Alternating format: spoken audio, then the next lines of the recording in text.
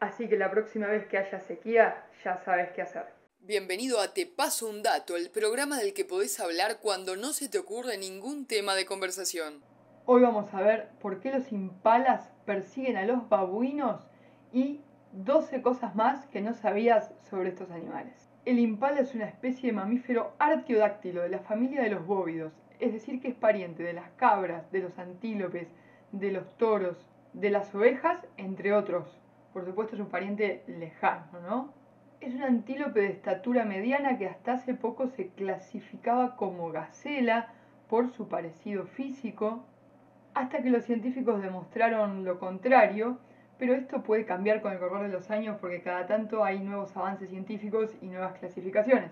Así que estate atento que por ahí en 5 años hacemos otro programa. Hay dos subespecies de impala. El impala común vive en pastizales y se lo conoce también como impala de Kenia. Y el de cara negra, que es más grande y oscuro, que vive donde hay matorrales más áridos. Mide entre 70 y 92 centímetros de altura hasta el hombro, podemos decir, y pesa entre 40 y 76 kilos.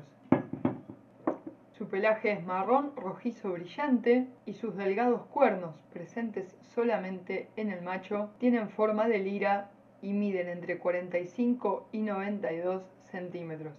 La palabra impala viene del zulú, que es una lengua propia de África donde vive esta especie, mientras que su nombre científico deriva del griego y significa pies negros de cuernos altos. Así que los griegos llegaron al África, encontraron impala y dijeron, ¿cómo le ponemos?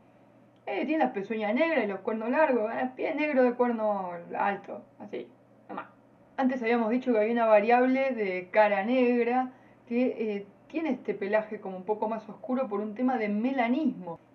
Lo mismo que sucedía con los leopardos y los jaguares, como vimos en este video, a los que llamábamos panteras negras. Como ya dijimos, vive en África, donde come hojas, hierbas y semillas, entre otras cosas, porque también comen frutos en bosques pocos densos y en la sabana salpicada, digamos, de árboles. Es decir, que cada tanto hay algún arbolito, ¿vieron como en la peli de Rey León?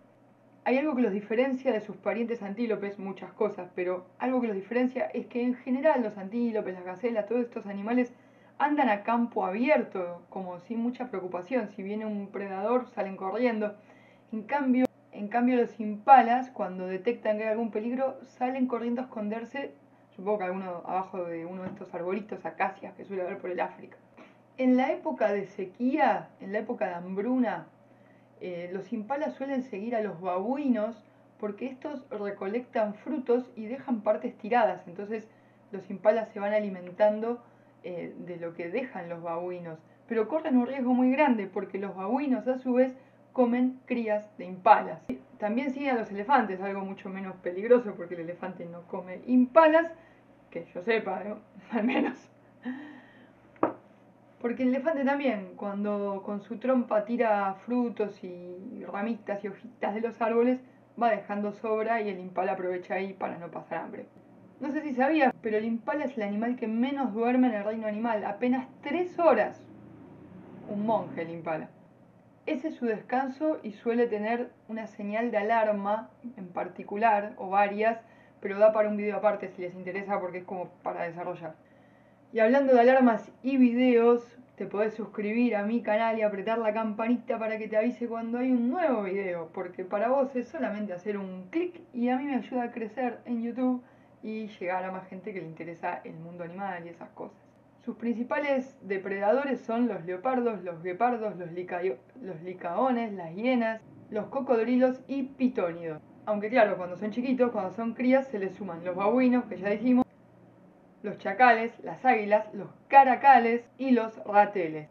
Todo esto convierte al impala en una especie fundamental para el ecosistema. Ustedes me dirán, pero los leones no cazan impalas, no le pintan impalas. Sí, cuando hay eh, sequía y las otras presas, las que son más grandes y potentes, como la cebra y los ñues, eh, se van en busca de agua a otros lados, los leones a veces eh, van en busca del impala.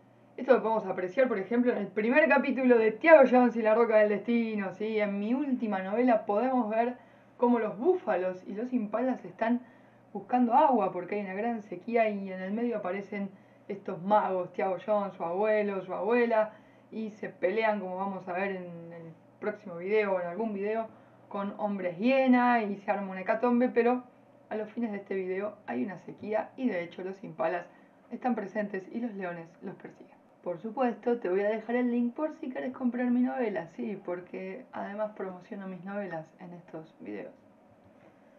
Bueno, por último, un dato de color, el Chevrolet Impala, de los cuales podría decir que hay muchas versiones, pero los más antiguos son los que más me gustan y creo que tienen más que ver con el animal.